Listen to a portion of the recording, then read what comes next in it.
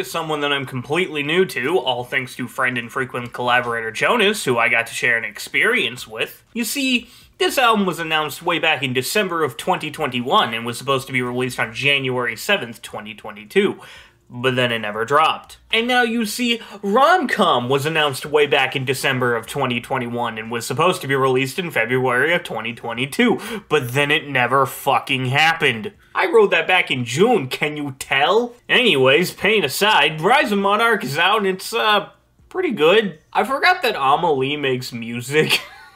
So the production on this being as good as it is surprised me. The title track is a short intro that's very beautiful, with AmaLee giving off some Maria Brink vibes when it comes to her singing. From the Embers is an absolute vibe with these chopped up backing vocals during the pre-chorus. There's no way I could not like this track. Metamorphosis has this dark atmosphere that turns into an absolute power anthem during the chorus. Speaking of the chorus, that long note that she holds right before is so fucking powerful, holy hell. Monster You Made is a semi-haunting song theoretically fueled by pain, and I gotta say, we going two for two on the relatability factor as a content creator for nine years. Villain Vibes was originally the only song I was gonna listen to because it has Callie on it, but I guess I just said fuck it and listened to the whole thing, and I'm honestly glad I did. Anyways, the song had a pretty fun moment happen. You see, when I first listened to the song, it had gone for a pretty good length, yet Callie hadn't appeared, and I had the thought, I wonder when Callie's gonna join. And then immediately after I said that, her verse started. and it's a great verse, it's a great hook, it's a great song. Though I will say I appreciate this version of the hook a lot more. Messing with the Wrong Bitch is another power anthem, but like Disney-fied, but at least like the good Disney, or at least the version that everyone liked. And I get that, but I also never grew up on them. I've seen a fair bit of clips from a fair bit of the movies, and according to my parents, I've seen a couple of them, but I have like no memory of that. Anyways, point is, it's got Renaissance Disney villain vibes, and that's cool. I, I, I, like it when the lady go control. Call Me King has vocal chops, so 10 out of 10, but it's, it's a nice anthem. So yeah, that's pretty much all I have to say. It's a nice pop album that tells the lore of her VTubing characters, as well as brings in a lot of bangers and some relatability if you're in the YouTube realm. I've been looking forward to a Tropic Gold project since I first heard Need to Know, and while it's not an album, I find the EP to be incredibly good. For one, I feel like this is where they finally signified, at the very least, baseline for their sound. They started as yet another normal sounding rock band with their first couple of singles, Need to Know established a calmer, vibey sound, and then they've been able to implement that heaviness back into their music while combining it with the previously established Need to Know sound. And the singles leading up to this were great. If you want to go ending up on my favorite songs of 2021 list, Pretty Stranger was admittedly forgettable in the beginning, but it's grown on me knowing that the song's about falling in love with a stranger, maybe just on the basis of looks and wanting to be with them because you hate being alone. Or at least that's how I view it, and uh, mood.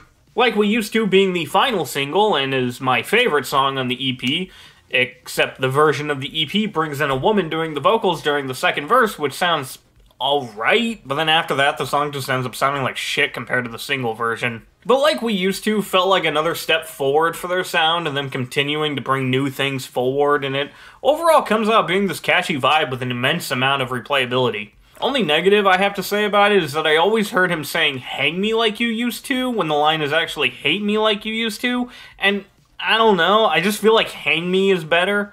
Hate Me feels a little basic, while Hang Me may sound edgy to some, but to me sounds like a more darker and interesting route. It reminds me of Jon Bellion's Guillotine, how he described it as a Tim Burton love song. The opening track, The Way You Love, is yet another banger that I've gotten the chorus stuck in my head multiple times, and without a doubt, my favorite part of the track is during the build-up of the final chorus where the guitar plays the same melody as the vocal and is timed along with it. It is a certified nut moment.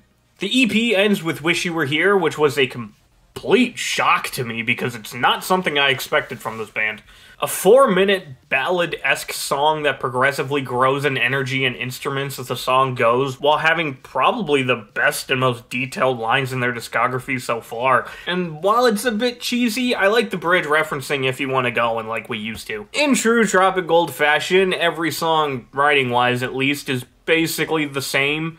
They're all about wanting to be with someone, and I'm fine with that. I was a Five Finger Death Punch fan for seven years. I'm fine with a band just writing the same thing. Overall, I think it's a solid debut EP, and like always, I look forward to the future of the band and their debut album. Speaking of Five Finger Death Punch, they had an album drop, and I do not care about it at all. And this should sound weird to anybody who is at the very least familiar with me and my content, because I loved the band growing up. Like I just said earlier, I was a fan of theirs for seven years, but I found around last year that I was just not really enjoying their music all that much. But Fate, Fate was the exception. Fate was the album I continued to still really like because it was such a step forward for the band and showed a promising future, continuing to feel like they were moving along with me and how I was feeling. And then that just didn't happen. Yeah, this album is a massive step back with them sounding like they're trying to just go back to their older sound and make those older songs to the point that some of these feel like Wish.com versions of previously released tracks. The title track sounds like Wish.com under and over it. Blood and Tar, Scar Tissue, Thanks for Asking is a little bit off. Gold Gutter just straight up sounds like a Got Your Six B-side. And it's also just the most forgettable album in their discography. My problem with And Justice for None that made me rank it as my least favorite album of theirs was that it didn't really feel like it had a distinct sound unlike the rest of the albums, but a lot of the songs are still memorable to me. I can look at the track list and remember what most of these songs are. I can barely do that with Afterlife, and for most of the tracks, I can't even remember a single detail about them. The most memorable standout song on here is Judgment Day for the inclusion of trap percussion and Ivan rapping, which surprisingly sounds pretty good, not gonna lie. But in the end, I feel nothing anymore when listening to that song. It's just such a disappointment, honestly. With, like I said, Fate had such a promising future for the band, and then they just took this step back, and it's my least favorite album from them. And like with Hollywood Undead, I no longer listen to Five Finger Death Punch anymore, so this is probably to be the last time I talk about them for a while. So my favorite band released what I consider to be their worst album, and so my second favorite band did the same thing. Planet Zero was a concept album about the planet being a rundown apocalypse, all because of cancel culture. No, I am not kidding, I wish I was. There is fucking no other reason given as to why the world would become the dystopia that the album's about. It's just cancel culture. It's mentioned on here like five fucking times. The title track is all about it, and even Zach Myers said that the album is about anti-cancel culture. And I'm just so fucking sick of hearing about this. Cancel culture doesn't exist. It doesn't work. It's a broken system that solely exists on Twitter.com, a website where only 5% of the planet resides, and we've seen time and time again of examples of people being cancelled just to continue having a thriving career. And not only is this just a boomer take for a concept album, but it also continues to feed the stereotype that Americans think that America is the entire world, because the album is literally called Planet Zero. They are referring to the Earth as a whole, and its population of 7.7 billion people falling under because of some small minority of that 5% doesn't want people to have careers. And overall, cancel culture is an issue that only really resides in America. We're the only country that gives so much shit about a non existent thing. It is such a rare occurrence for someone to be truly canceled. So the concept of this album is dumb as fuck. But also, the album is just not good, in my opinion. It is a very slow album with ballads happening back to back to back, which I'm pretty sure Sound of Madness did the same thing, but for some reason that actually worked because that album is a joy from track one all the way to the ninth bonus track on the 2010 Deluxe. But here it just feels like a fucking slog. Not to mention they pulled a Linkin Park and throw an interlude after every other track, and don't give me that it's a concept album bullshit, because you can make a concept album without needing to put an interlude after every other track. Look at The Wall. It's a classic for a reason. Other than that, there aren't really any highlights in the track list for me, just a disappointing and annoying album and easily my least favorite in their discography. And I, I, I fucking really hate saying that. Also, friend and frequent collaborator Jonas pointed out something I hadn't really thought about. We had a worldwide pandemic, the Black Lives Matter resurgence, the Capitol was stormed, Russia invaded Ukraine and is still there, and we're looking at 2008 the sequel. And all you can talk about is Twitter.com. Alright, well, I finally rewatched No Way Home. A lot sooner than I thought I would, but I can actually give my proper thoughts in the movie now knowing how everything plays out and seeing it twice. And I honestly put it best with my Letterboxd review. It's a mid Spider Man film that does the bare minimum, but the nostalgia bait makes it dumb fun. Yeah, they finally gave Peter consequences for his selfish actions and even had him be selfless, but isn't that just the bare minimum? I would have rather just had this already be happening in his trilogy instead of it taking three fucking movies to, like I said, do the bare minimum. With that being said, I still enjoy Tobey and Andrew being in this movie, and when it comes to this version of the movie, the scene where they're all just talking shit and bantering before fighting off the villains got extended, and I would honestly just take a whole movie of that. Hell, give it the Snyder Cut treatment and make it four hours. Speaking of deleted scenes, there are some that I understand why they were deleted, some that just kind of restate things, and others like the previously mentioned banter scene that do it in a way that enhance the movie a bit and make it more fun. I also don't hate that Aunt May is the one to deliver the great power comes great responsibility line because friend and frequent collaborator Jonas made me realize that in the timeline of everything, mentioning Uncle Ben now would just feel off and and you know, that's understandable which is why he should have just been a fucking thing from the beginning, but that's a different tangent that currently has 9,000 views and ended up in a Godzilla Mandora video. And while I can enjoy the villains a bit more knowing how the movie ends, there are some things that still confuse me. Like, Doc Ock is here because he knows Peter is Spider-Man, but he states in the movie that he had Spider-Man in his arms before he got teleported. But that whole scene in the movie is the moment where Doc Ock becomes good, but he's evil in the movie so did he get teleported right before Peter started speaking? But Tobey's Peter in No Way Home says that he and MJ worked things out, which means that he would have been from post Spider-Man 3. How, how did he survive the sun then? Because Doc Ock is the reason why they got out of there alive. Plot holes hurt my head. My favorite part of the movie was when the entire auditorium was empty and my friend and I thought that that was really fucking funny and we're kind of hoping that it would stay that way the entire time. this movie was way too inspirational for me.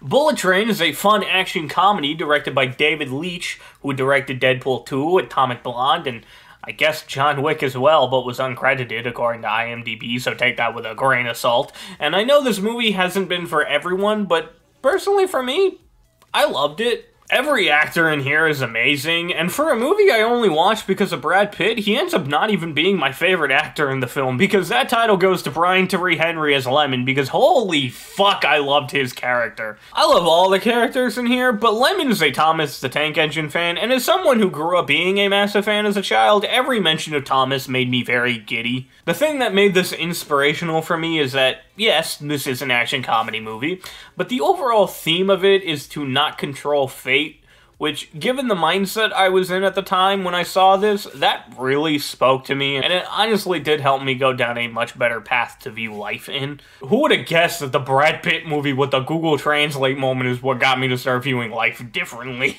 On a more technical standpoint, more specifically the pacing, the constant flashbacks were a little weird at first, but by the end of the movie, they just felt like they fit really well, and it does add a lot more comedy and enjoyment in the film, in my opinion. That's all I really have to say, to be honest. I had a great time when I saw this, but to be fair, I haven't seen it since its opening, so I am due for a rewatch. Don't Worry, Darling is aggressively mid.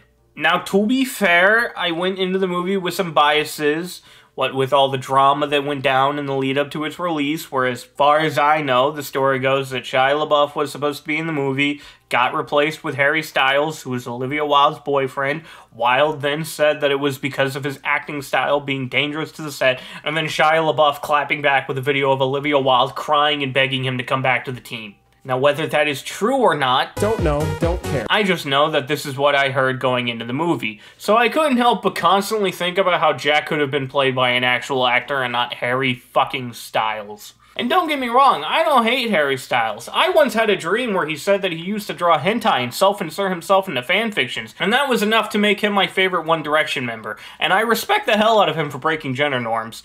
Dude seems like a cool guy. But as many other people have said it, he is not an actor. I also couldn't help but be aware of how aggressively British his accent is while he's surrounded by a bunch of American accents. Also, the decision for Olivia Wilde to cast her boyfriend in a role where his only character trait is I wanna fuck Florence Pugh is a little weird. I mean, I get it, movie magic, it's not really sex, but eh, I don't know, still kinda weird. Regardless, all of that is irrelevant, and what I should be focusing on is the movie itself. Which is two hours of nothing. Like, I know it's not a great comparison by any means, but Florence Pugh being in a movie about a strange cult where weird shit happens and everyone acts like it's normal kinda reminds me of another much better movie where Florence Pugh ends up in a strange cult where weird shit happens and everyone acts like it's normal. And I can't help but wish I was watching that instead. Florence Pugh is the best part of the movie. And the twist this movie has is literally Harry Styles can't fuck Florence Pugh one night, so he decides to make her unconscious and put her into a VR world where he then gaslights her. And no, I'm not using that in the Twitter sense. He literally gaslights her by definition. And there's this weird thing where Olivia Wilde says that they're gonna kill Florence Pugh in the real world because she figured everything out, and then the movie just ends the moment she leaves the world. Like, I'm sorry, based on the information that you gave me, Florence Pugh is still in danger. I mean, I know Olivia says that when someone dies in the world, they die in real life, so maybe she just means that them trying to kill her in the VR world will kill her in real life, but the line didn't really come across that way to me. It sounded like she was saying that they're now in the real world going to Florence Pugh's house to kill her, and if that's the case, then I can reasonably assume that they're still going to do that. Also, Chris Pine's wife kills him to take charge of the hunt for Florence, and then I don't think I saw her in any scene after that. Like, it's not a bad movie. It's competently directed, and the actual actors know what they're doing and are giving good performances. But the writing is so flawed and basic, as well as the directing being pretty generic, that this just becomes a movie that feels like several other better movies shoved into one mediocre waste of time. I watched Barbarian immediately after Don't Worry Darling, and maybe that makes the movie look even better, but regardless, this is a good movie. This is one of those where uh, everything I have to say is what everyone else is saying, so I don't really have anything to add to the conversation. I just want it to be stated that I've seen it, it's good, would highly recommend it. And like everyone else has been saying, if you can, watch it without knowing anything, because trust me, I did that and it was fucking great. Terrifier 2 is a movie that exists. I don't know why. I don't know if I would say I was hyped for this. I remember liking the first Terrifier movie, even though it had no plot or point other than being a gore demo reel. But going into the sequel, I heard that it actually has a story, and therefore, to some people, that makes it good. And to that, I say, did we watch the same movie? I cannot begin to explain to you what the story is because I really do not think there is one. There's plot points. The final girl's brother is obsessed with art, and then the final girl meets art, and then the final girl's friends get killed by art, and then the final girl's brother gets kidnapped, and then the final girl goes to the carnival, and then the final girl kills art. But everything in between is the most stupidest, pointless, boring shit I've seen in a while. Maybe the Chucky TV series just ruined horror for me. like, what is this fucking subplot about the dad that goes absolutely nowhere? What is this imaginary child that I guess nobody can see except for Art, the final girl, and her brother? That's just never explained. Oh, and if you're someone that doesn't like piece of shit characters being pieces of shit for no reason other than being a piece of shit in a horror movie, I would not recommend this. The mom does nothing but scream at her own children. One of the final girl's friends literally just drugs her Ari Shaffir style and then does nothing else but fucking complain. This movie was also obnoxiously loud, especially when you get into the carnival and they play the same jump scare like 25 fucking times. This has zero reason being two and a half hours long, and I'm honestly glad to start seeing more and more negative reviews of the movie. If all you want is two and a half hours of torture porn and over the top gore to the point that it's cartoony and find joy in a woman being brutally torn apart limb for limb for like 10 minutes straight, then I guess this is the movie for you. Uh, it's not for me, and I'm gonna go sit in the corner and silently judge you. Okay, so starting off, I only watched the first three episodes that were released for free on YouTube, and I have no intention of going back. Not because it's bad, It's not good, but it's not terrible. I just have zero interest in RWBY as a whole aside from Qrow, and the only reason why I watched Ice Queendom was because friend and frequent collaborator Jonas, who's a fan of the original, was curious about how this reboot would play out for someone who's never watched the show before. And so I wanted to fill in that role. And I can say that in the beginning it made sense, and by the end it didn't. Apparently, they cramped like most of the first volume into the first three episodes, and you definitely feel that by the end.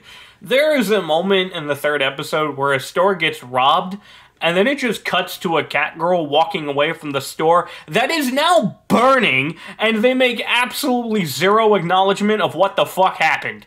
I enjoyed it a bit, but seeing bits and pieces of the original show just shows me that it's the superior version out of the two. But like I said, I don't really have any interest in watching either.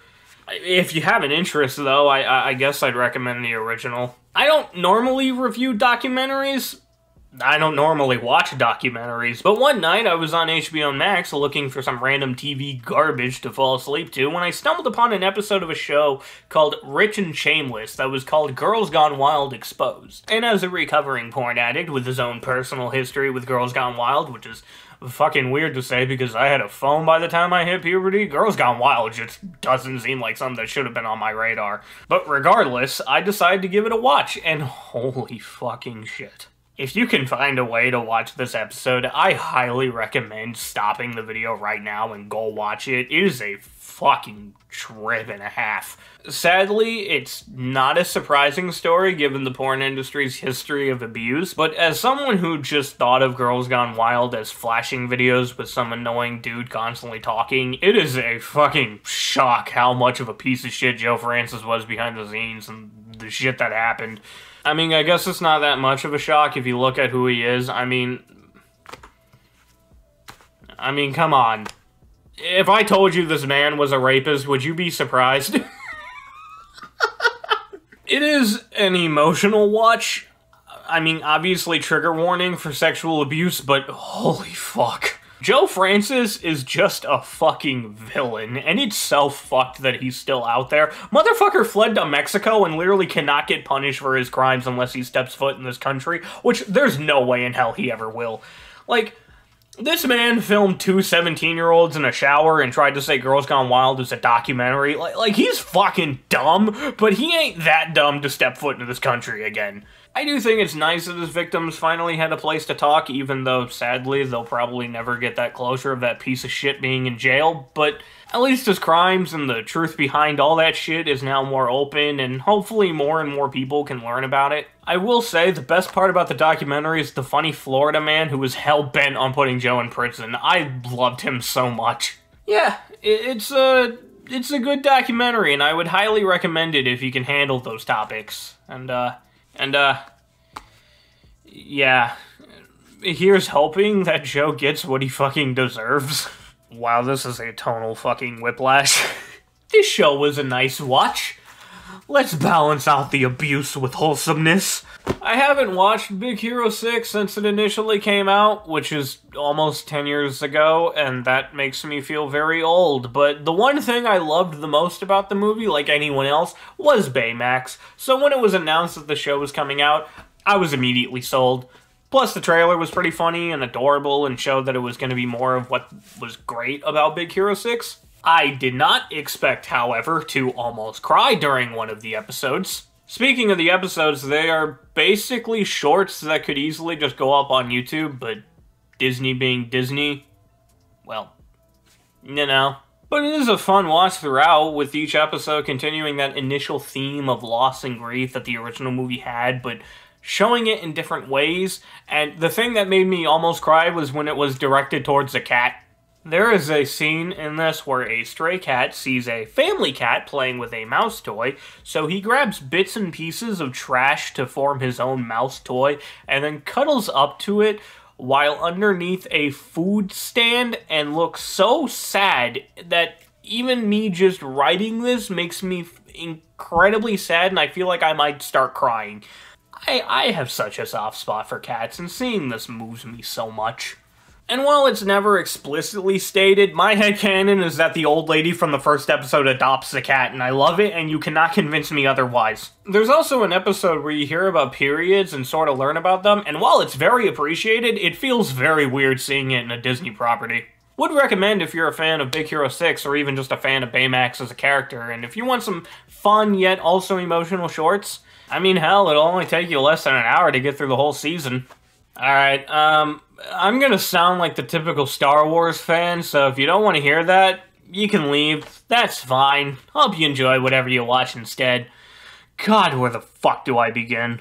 Okay, so I got my hopes up after episode 2, and I, I really wish I hadn't, because this quickly became the most disappointing, aggravating, and pointless thing I have ever seen so far from Disney Star Wars.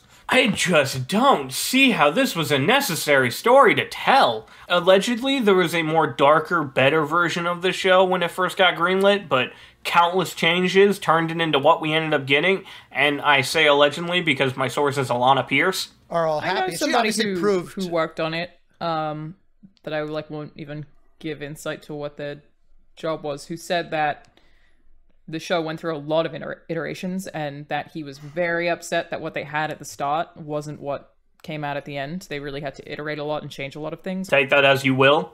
But how did we get here? I, I, I- I would like to know. I want to know who at Lucasfilms thought that an Obi Wan show should have Obi Wan be a fucking side character. Why an Obi Wan show should focus so heavily on the Inquisitors. Why an Obi Wan show should feature an absolutely total fucking useless plotline about Reva trying to kill Luke when we all know that's not going to happen because how the fuck could that happen? How did the writers write themselves into such a fucking massive corner? I don't get it. Remember when I said I hoped Reva becomes a better character? She doesn't. She, in fact, should be fucking dead, but this is basically the Reva show, so she gets to survive Vader's wrath despite constantly fucking up during every single move and even betraying him. In what universe does Vader give someone this many fucking chances and willingly leaves her alive after she just tried to kill him, but then chokes out multiple people for doing far less? In what universe am I supposed to be afraid of Reva when she can't even get information from a fucking 10 year old? And don't forget the terrible choreography, the terrible CGI, and just overall the terrible writing. There are things established and then never spoken about again. Whatever happened to Robert Pattinson's brother with Down syndrome? That dude got hung in the middle of Mos Espa and then just was forgotten. Hell, I forgot about it until Robert Meyer Burnett brought it up. There was also that moment where they gave an origin story to the certain point of view that Obi-Wan viewed Anakin and Vader, and that is a very dividing moment in the show from what I can see, and I am on the side of I fucking hate this. Why can't things just exist? Why does everything need to have a fucking backstory? I liked it better when that line sounded like a coping mechanism that Obi-Wan uses to get over the guilt of feeling responsible for what happened to Anakin and letting Luke view the father as the good guy Obi once knew and not as the evilest man in the galaxy, which would later result in one of the most iconic scenes in film history, and Luke later bringing Vader back to the light side, and not something that Obi-Wan just hears from Vader and goes, Oh, I didn't think about that, I'm gonna use that from now. The ending scene honestly pissed me off because it showed a much better version of the show. It literally ends with an opening to what could have been instead of just being what it should have been. It's called Obi-Wan Kenobi, and you went through the effort of bringing back Ewan McGregor and Hayden Christensen to reprise the roles, but they're so painfully underused in replacement for a completely different plot for a TV show that I give zero fucks about. Why should I care about Reva? There is literally zero reason why I should care about her. If you wanted to make a show about Sith politics and Inquisitors and focus on one that's actually good, even though that twist doesn't make any sense because she's getting revenge on Anakin for killing her friends, but then spend God knows how long killing how many fucking Jedi and how many of them were kids? For fuck's sake, she tried to kill Luke in the last episode anyway! But whatever. You wanted to make that show, you could have. But instead, you just shoved it into what's supposed to be an Obi-Wan series. Actually, honestly, what should have just been an Obi-Wan movie. What I would have liked to see is a series that went more in depth into the psychology and mind state that Obi-Wan would be in. After the events of Revenge of the Sith, feeling like a failure as a trainer and also Qui Gon's Padawan, given how he made a promise and in the end he failed to keep, and then later find out that his Padawan that went rogue and he left to die on Mustafar is the evilest man in the galaxy that has been running a fucking empire and killing God knows how many people, there has to be so much PTSD, trauma, and overall fucked mental state that it could have made for a really great psychological look at the character. And not only that, it would have made up for the obvious nostalgia bait by providing something that hasn't been done in Star Wars, at least in live action. And maybe that was the original idea. I don't know. But instead, what we got was six half baked episodes of the fucking Reva show, and I, as a Star Wars fan,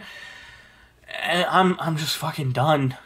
I'm tired of getting my hopes up, even when my expectations are on the fucking ground, just to then be spit at. I have barely enjoyed anything Disney has brought to Star Wars, and after this fucking mess, I just can't be fucked to care anymore. Mando Season 3 is gonna come out, and I'm probably not gonna watch it.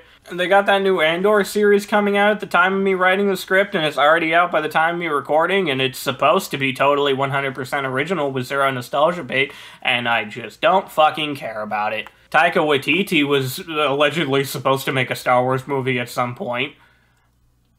At this point, I don't even know if that's true even then, I just have zero intention on seeing it, or just any other fucking Star Wars movie. After this colossal disappointment, I do not give a fuck about anything Star Wars related that is released from here on out, and I just don't want to be a part of it. Just give me a New Hope, Empire, and Backstroke of the West, and that's it. I want nothing else. And of course, everyone has their own opinion, but my opinion is the best opinion. I'm sure you figured that out already.